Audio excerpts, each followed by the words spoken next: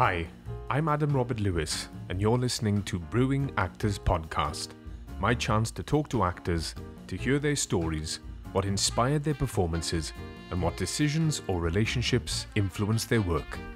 On today's episode,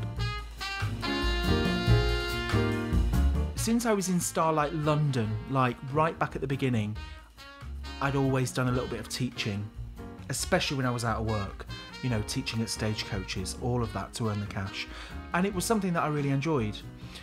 But I never dreamt that being a director or being, I think essentially being taken away from being a performer, it was not part of my plan.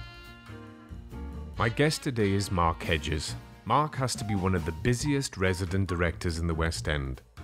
Currently the custodian of Phantom of the Opera, Mark has gone from one side of the table to the other, moving away from acting and pursuing a directorial path. In this podcast,